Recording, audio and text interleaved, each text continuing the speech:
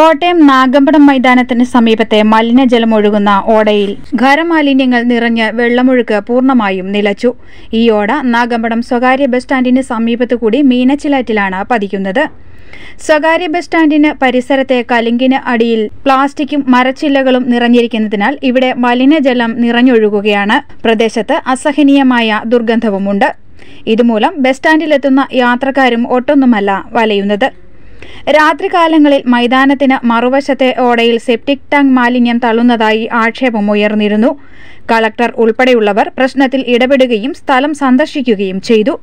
എന്നാൽ ഓടയിലെ മാലിന്യം നീക്കം ചെയ്യുന്നതിനോ മലിനജലത്തിന്റെ ഒഴുക്ക് സുഗമമാക്കുന്നതിനോ വേണ്ട നടപടികൾ ഇതുവരെയും അധികൃതർ കൈക്കൊണ്ടിട്ടില്ല. മാലിന്യം നിറഞ്ഞ കലിങ്കിനുൾവശം പെരുച്ചാഴി കീരി ഉടുമ്പ് എന്നിവയുടെ വാസസ്ഥലമായി മാറിയിരിക്കുകയാണ്.